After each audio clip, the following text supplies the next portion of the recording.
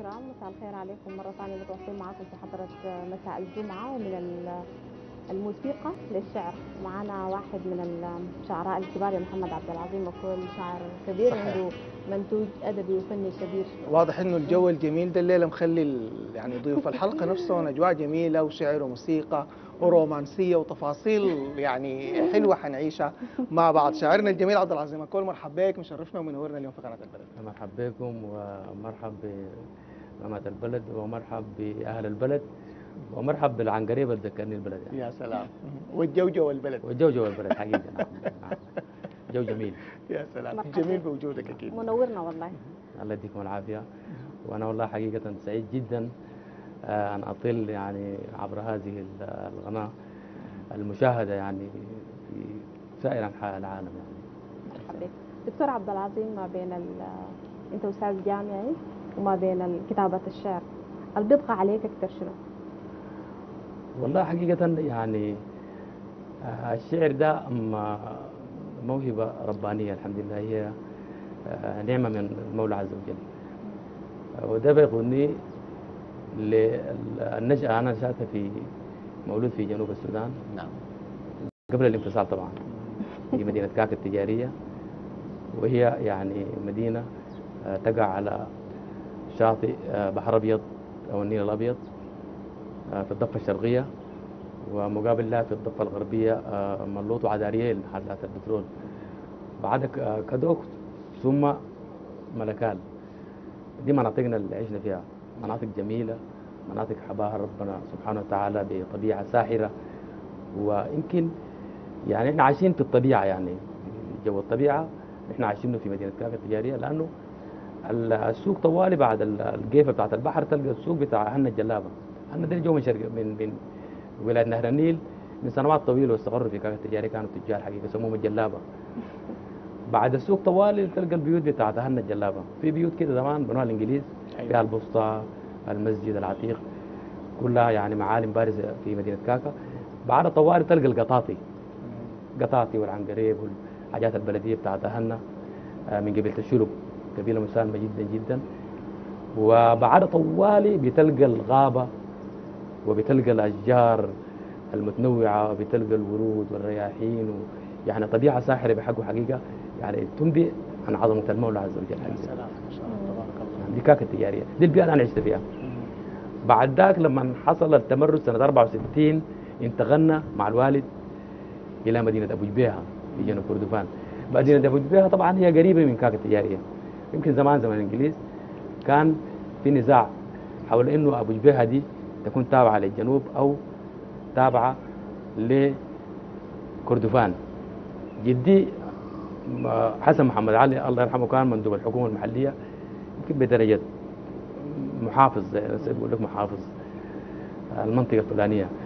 فقاموا عملوا آه، حاجة ودية كده. قاموا شاوروا أهلنا قال لهم أنتوا عايزين تنضموا لكردفان ولا عايزين تنضموا للجنوب؟ الجنوب لأنه كان فيه خيرات كثيرة.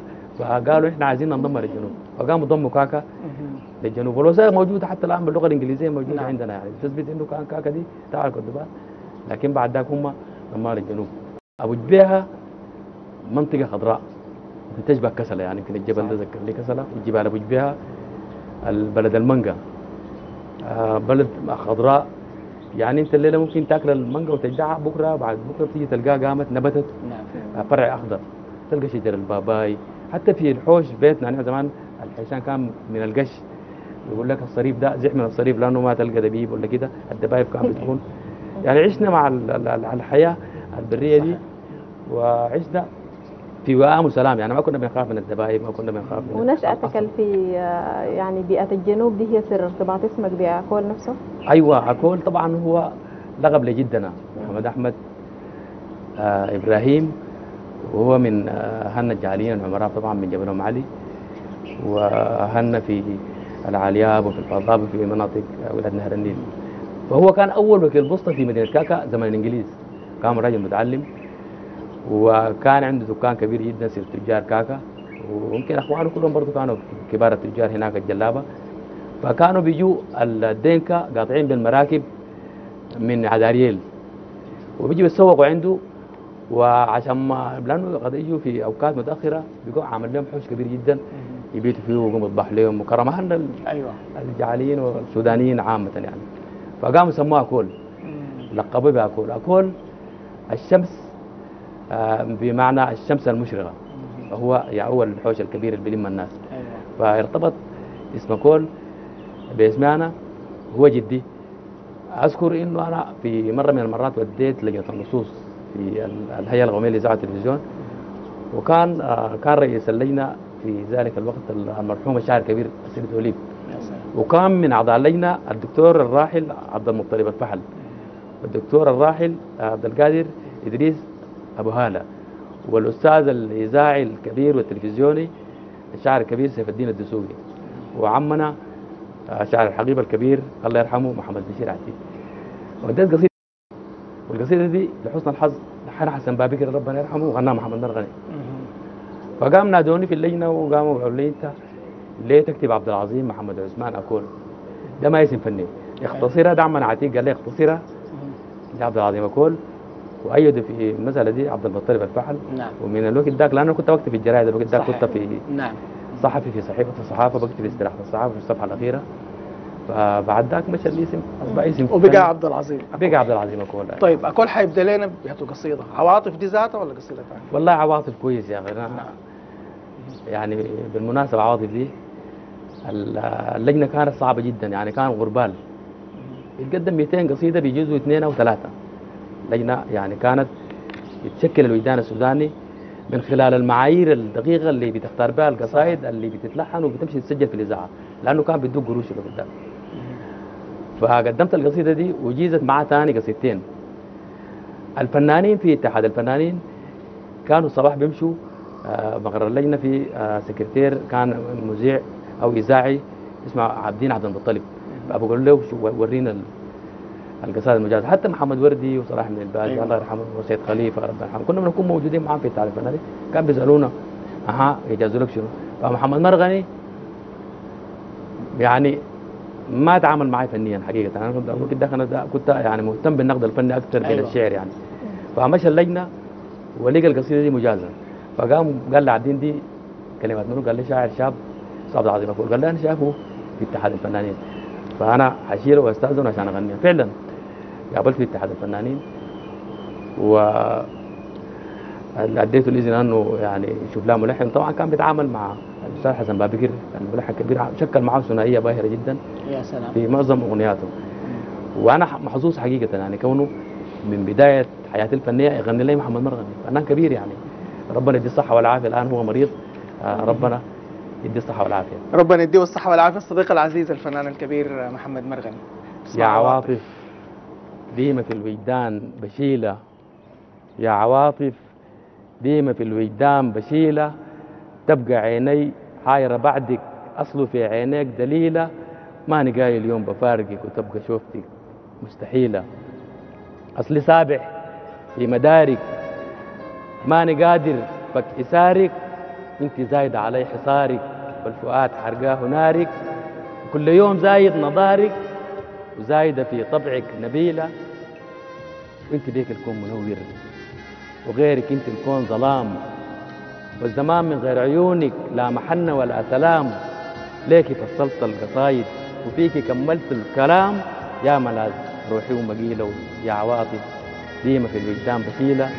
تبقى عيني عايرة بعدك أصله في عينيك دليلة ما نقاي اليوم بفارقك وتبقى شوفتك مستحيل سلام جميل جميل. دي عواطف محمد مرغني التحية لعواطف. التحية لي أكيد. عواطف طبعا صفة قد تكون صفة يعني. وقد تكون ما معروف والله ما معروف.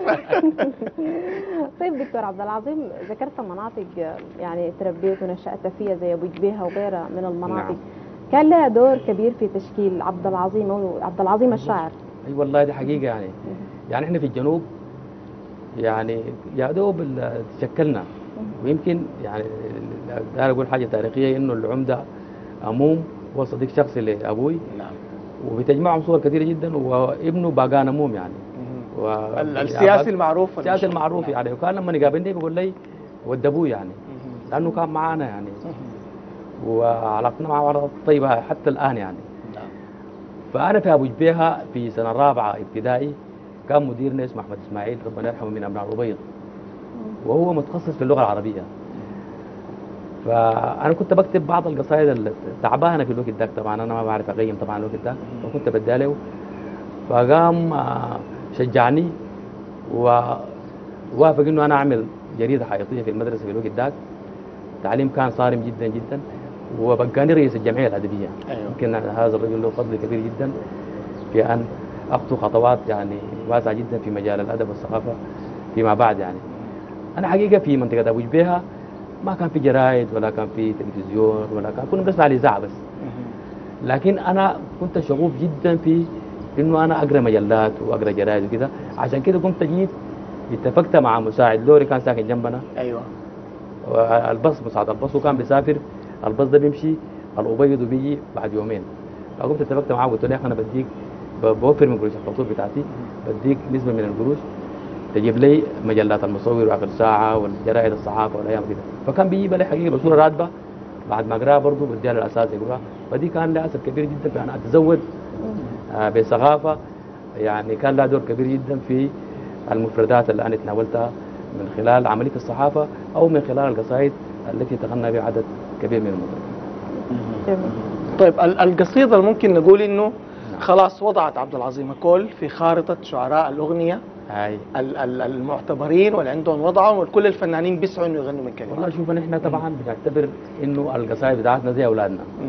يعني القصائد دي بتعتبر زي زي زي بناتك يعني. أيوة. بالمناسبه أنا أبو أبو أربع بنات وولد واحد. ما شاء الله.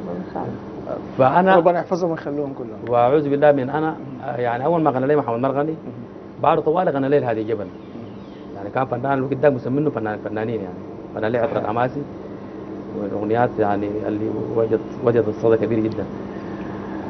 آه في الفترة ديك حقيقة آه التقيت بالفنان إسماعيل حسب الدايم وغنى لي عدد من الأغنيات. بعد ذاك أنا أديت الفنان المرحوم سيد خليفة ورجل كان صديق عزيز. وبالمناسبة سيد خليفة حتى لما كان مشى ال- الأردن عشان ما يعمل عملية آخر مكالمة آه، اتصل بي وقال لي أنا بكرة خاشي العملية وإن شاء الله أن ينتقل إلى الدار الآخرة. وقال لي أنا مجرد ما أجي بغني الأغنية دي. يعني شوف سبحان الله يعني. نعم. اديت عبد العظيم حركة حتى مختار رفع الله الشاعر ربنا ربنا يكتب الخير. توهم الروح. ولا يقول انت بتدي القصائد دي لبعض الفنانين بتكون آه، نهاية أجلهم يعني. فصادفت يعني اديت عبد العظيم حركة قصيدة اسمها كسلة آه، قبل ما يقدمها. وهو قدمها يعني في نمر العود نعم. انتقل إلى الآخرة. الجابري سجلنا حلقة في سنه العرض. معنا عوض جبريل الله يرحمه. فعندي قصيدة اسمها طبع الفراش قال لي لازم تعمل لي عقد عشان أنا ماشي استقر في القاهرة عايز أغنيها. وما لحق قدمها زيدان إبراهيم في آخر شهر آه، غنى لي أغنية آه، زمن الهواجس. واستمرت المسيرة حقيقة. نعم. آه، طبعا الفراش دي ما ما ما, ما نزلت. والله الجابري غناها نعم. بالعود بس في صالة العرض. لكن كان ماشي يسجلها بصورة رسمية. زمان نعم. أيام يعني. ما أخذت الانتشار. والله ما انتشرت لأنه غناها نعم. مرة واحدة صاله العرض في برنامج علم الدين حامد. وخلاص ما غناها ثاني لأنه توفى بعدها بشهرين ثلاثة. ممكن نسمع؟ حافظه يا ريت. البسمة ما بتجي للفراش. البسمة ما بتجي للفراش.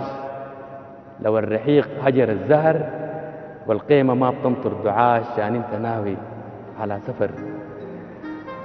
سايبني بعدك يا مناي حيران مع الأيام نوح. وأنا كنت فاكر يا حنين بلهفه الأشواق تبوح. الفرحة تملى الأمسيات وحرقة الاشجان تروح. خليتني للهم والاسى خلفت في الوجدان جروح بعد العمر فرهد معاك عمري ما قالك تغيب برسم خيوط الليل أسو أفضل مع الأحلام حبيب. وباري طيفك في الخيال. وصل نجمك. ما بيغيب وغير عيونك. انت عارف لا بودي ولا بجيب لا بودي ولا بجيب دي أغنية آه طبع الفراش. لكن أنا في مرحلة من المراحل التقيت بعصام محمد نور وأديت أغنيتين أو ثلاثة يعني. أولى حنان وأصلي من دنياك مهاجر ويا روعة. هذه طلعت آه، ورا بعض واستمرت الثنائية بينه وبين عصام لا إلى انت ما شاء الله أبو- أبو بنات حتى في اشعارك حنان عواطف روعة يعني. لا دي صفه طبعا ما صفه أنا أنا أنا حاسة إنه الموضوع ده ما صفه وأنت قبل نعم. ذكرت إنه إحنا حنطالب بتسنيم والله دي, هتعمل لنا مشكلة مع مع حنان. مع الحكومة. التحيه للحكومه عشان ما تحصل مشاكل. طيب أنت قبل ذكرت إنه ال- الاغنيات والقصائد كلها آه، يعني بنفس ال- يعني يعني كلها في نفس المكانه عندك. بس نعم. أنا سمحت تحت كده إنه يا روعة دي من أكثر الأغاني المحببة لك لا حقيقة. يمكن يا روعة. واغنيه نادي الخدر هو اللي بيقولوا الناس شوية. وبرضه في أغنية غناها حمد الريح ربنا يرحمه. آه، فاكرك حنين بتجيني مرة ويوم هوايا بتنصف تمسح دموع الفرقة والحزن الأليم يوم تعرفه. دي دي الأغنيات آه، اللي بحبها بال- بالإضافة ل- لو بتعرف كيف بحبك برضه كانت نالت نجومية الموسم سنة 84 الناس ما يحسوا الثاني كثير من الأغنيات عشان الناس ما تزعل. لأنه هذه الجبل برضه عطر العماسي دي كان في فترة من الفترات سنة 86 الأغنية الأولى. وسبحان الله يعني أربع أغنيات من اغنياتي فازت بالمرتبة الأولى على مستوى السودان. يا سلام. وهذه نعمة من ربنا سبحانه وانت بتكتب بيكون في مرات فنان معين في مخيلتك بتحس إنه الكلام ده بيشبه هذه الجبل بيشبه محمد مرغني بيشبه نادر بيشبه عصام ولا. الاختيار قاعد يكون له؟ طبعا إنت ما إحنا بحكم علاقتنا الوطيده بالفنانين آه إنت بتكتب النص طبعا النص ده مع نتيجة إيحاء أو نتيجة موقف معين أو انفعال معين. لكن طوالي بي- بيجيك في خاطرك إنه النص ده المفروض يغنيه. يعني أنا زمن الهواجس أنا يعني أول ما كتبتها كنت بفتكر إنه المفروض أغنيها زيدان. لكن لأنه آه ما في تعامل بيني وبين زيدان رغم أنه صديق شخصي بالنسبة لي لكن ما تعاملت معه في مجال ال- الغناء.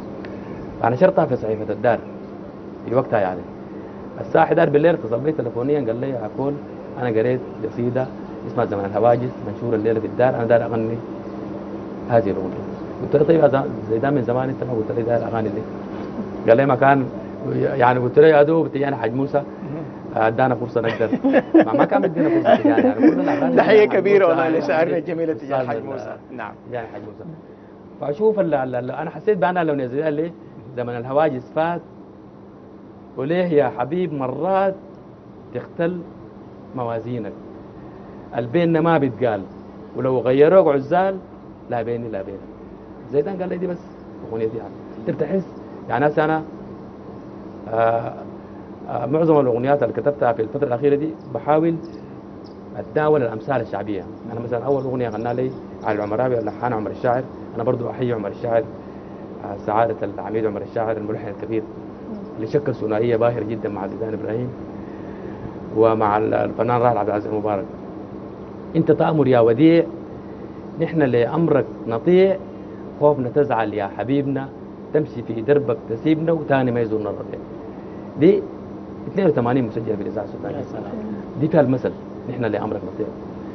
فعصام كتبت له دفقت مويتي على الرهاب. قاسيت كثير هجر الحبيب ومشيت وراك سكة صعاب. ما لي في الطيب. نصيب. برضه حرم النور لحنها حمدان ازرق إذا الطلب. كفاية علي سهاد. مع كفاية علي سهاد طبع الزمن قاسي وغلب. يا ريتني لو أفضل معاك. بفرح ويكون عز الطلب.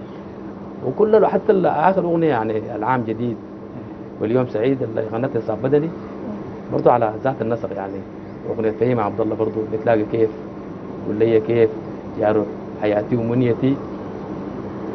بيناتنا مهما يمر زمن دنياك ما زي دنيتي. برضه أنا أحيي الفنان ال- الملحن المبدع عماد يوسف اللي تحلي 30 عمل. وهنا يمكن تعاملت مع جيلين أيوه. عبد اللطيف خضر وحسن بابكر وأبو رمح محمد ضفع الله ثم المنصوري آه ثم عماد يوسف والملحنين الشباب الموجودين الآن. يلا ورينا الفرق شنو.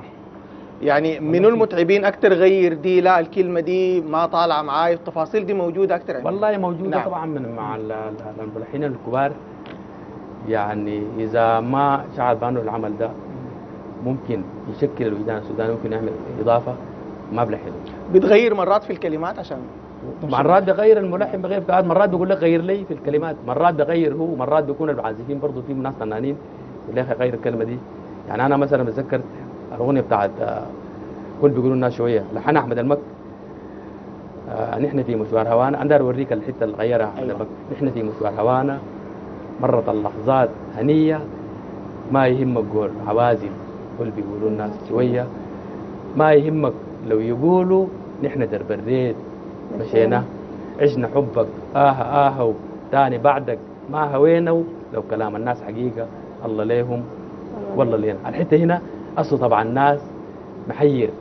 يا ما نسمع بالعجايب. أنت بس خليك مخلص نبقى زي قصدك حبايب ريدك يتملك مشاعرك. يتملك دي نزلها كتبها أو أدخلها في النص آه، أحمد المكي.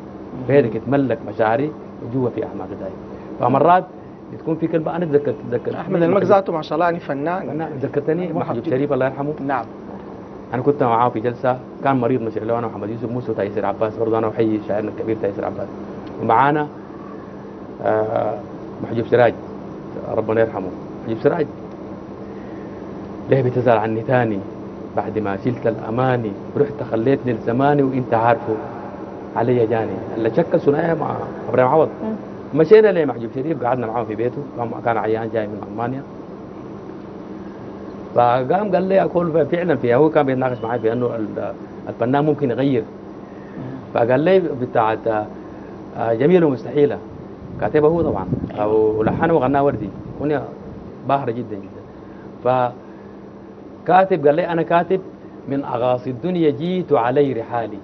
من أغاصي شوف من أغاصي الدنيا جيت وعلي رحالي. وردي قدر ما حاول إنه أغاصي دي تجي في اللحن ما جات معه. ده كلام محجوب شريف ربنا يرحمه. فقال لي أنا قال لي غيرها قال لي أنا أسبوع ما قادر اغيرها أجيب شنو يا جماعة؟ لأنه الكلمة جات كده. فقال لي مرة في كوره هلال مريخ في استاد الهلال طبعا. والناس طالعة من الكوره زمان كان في البكاسي طبعا. فقال لي جيت خشيت الكوره وجيت ركبت البوكس جماعة بتخ... قالوا قال لي يا أخي إحنا ما غلبناكم. هلال هلال برغا بيتكلموا. قال لي يا أخي أنت غلبتني شنو يا أخي؟ أنت ما جاي من الظهاري.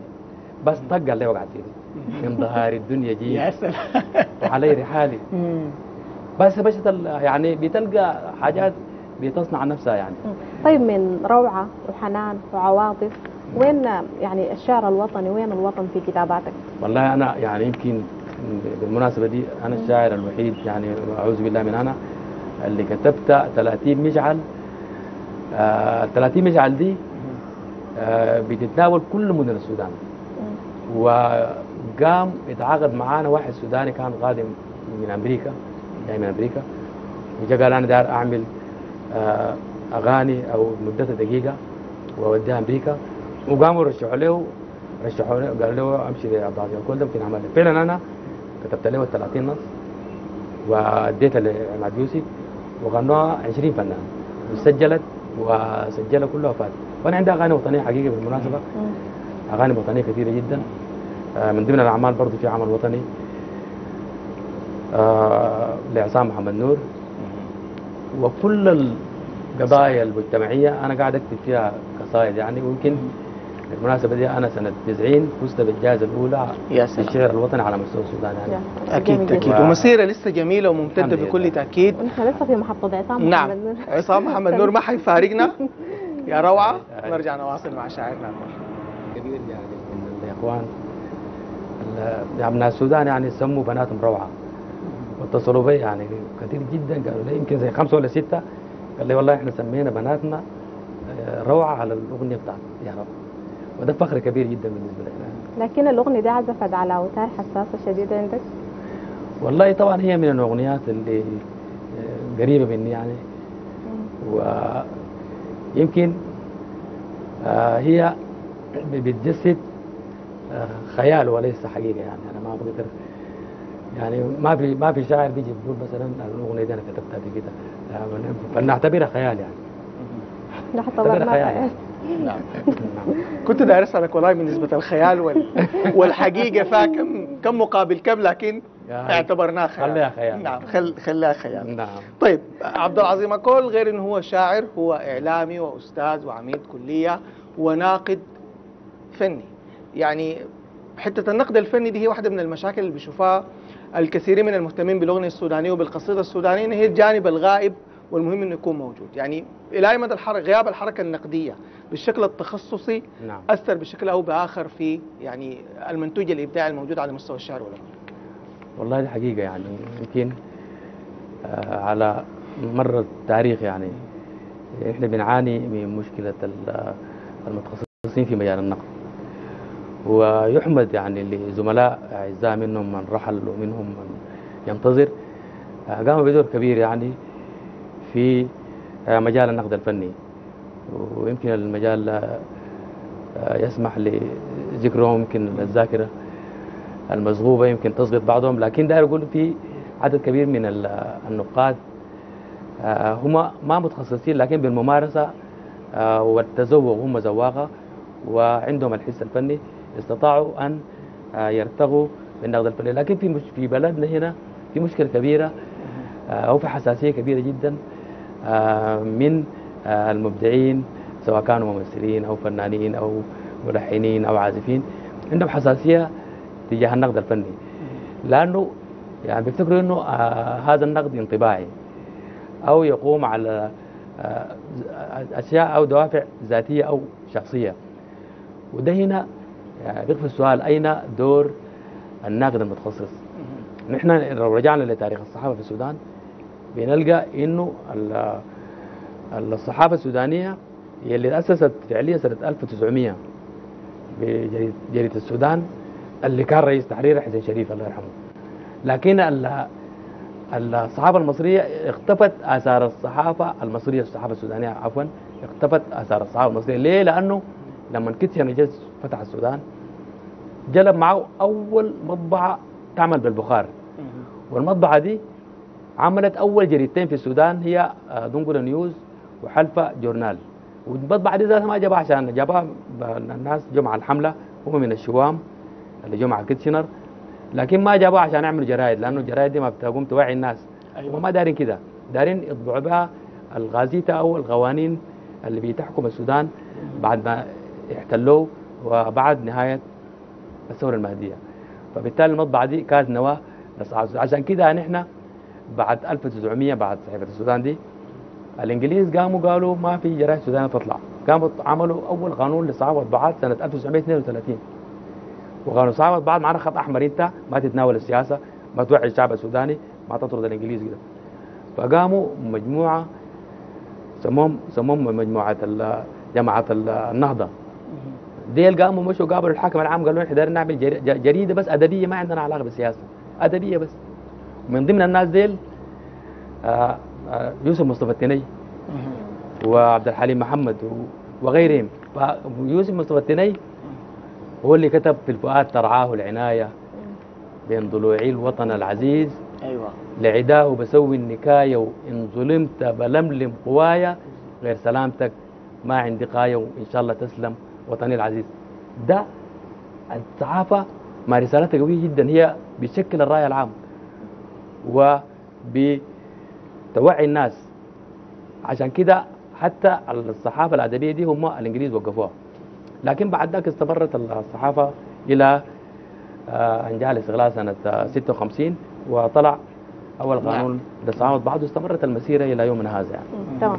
طيب فيما يتعلق بميلاد الأغنيات نفسها لما تيجي تكتب آه، أغنية أو قصيدة يعني أيوة. آه، هل بتكون آه، يعني بنشهد فيها مخاض كبير كده وصعوبة ولا بيكون بصورة سلسة وبتعبر عن حالة مزاجية معينة بتعبر عن شعور وقتي؟ والله حقيقة يعني أنت لما تجي تكتب قصيدة يعني دائما لو لاحظت القصائد السودانية بأغراضها بتتناول ال- الوجع والفراق والأسى وكده لاحظتها؟ يعني يعني أنا مثلا أقول لك آه، ناس قراب منك محمد الطيب عربي. واحدة ما قادر يعبر لها عن مشاعره. فقام قال لها "نا- ناس قراب منك. واحدة مشهورة يعني في الإذاعة يعني. أيوه. إعلامية يعني. ناس قراب منك عرفوا سر حزني أسألهم عنك قالوا ما سمعوك تسألهم عني. يا سلام. ما, في ما يعني يعني يعني دي يعني الله يرحم علي. شبيكه كان يعني مدرسة السهل الممتنع والله وحدوا بينا. البارحون وراحوا. وبعد ذاك يوم يوم رحيلك يا حبيبي. شفت كل الكون مسافر. لا هزار في روضة غنى. لا زهر عطر. بيادر. الشهور يا ريت تجري. كل يوم يا ريت. ده غنى الوجع. ما نحن انت لو ما اتوجعت ما بتكتب شعر أيوه. يشكل وجدان السودان عشان كده وما بتصدق ذاته. أيوه أنا لما كتبت يا روعه دي بلقى أي حتة أمشي بقول لي ومشيت مدني ومشيت بر السودان ومشيت الأبيض. يجوني عشرات الناس مئات الناس. يقول لي والله القصيدة دي بتعبر عننا نحن. هي زي اللي كتبتها عندي. فأنت لو ما توجعت وحس ال- المتلقي بأنك أنت بتخاطبه وتعبر عنه ما بتكون وصلت طيب الأصدق-. تمت الإجابة على السؤال الذي لم أيوه نساله الأصدق يا تا- الخيال ولا الحقيقة؟ والله رجعتك لأنه يا روعة والله؟ معظم القصائد اللي أو الأغاني الموجودة في الساحة هي قصة قصة حقيقية يعني أكيد. لو ما حقيقية ما بيشكل وجدان الشعب نعم. السوداني أنا ممكن أسمع ولو. ما عاش الشاعر أيوه يعني عايشها شايف شاف. أو كذا عبر دكتور. عبد العظيم اكون صراحة يعني الحوار معك ما بنميل منه ابدا ودائما بنكون سعيدين بلقائك وبوجودك معنا شرفتنا ونورتنا اليوم في قناة البلد واستمتعنا بهذه القصائد الجميلة وبهذا الحوار الجميل وبكل تأكيد موعودين بقصائد رائعة مقبلة وأنا لسه مصر أنه تكتب لنا عن تسنيم اعمل لنا. يا تسنيم زي يا روعة ويا حنان ويا عواطف متواصلين معكم مشاهدينا ولكن بعد الفاصل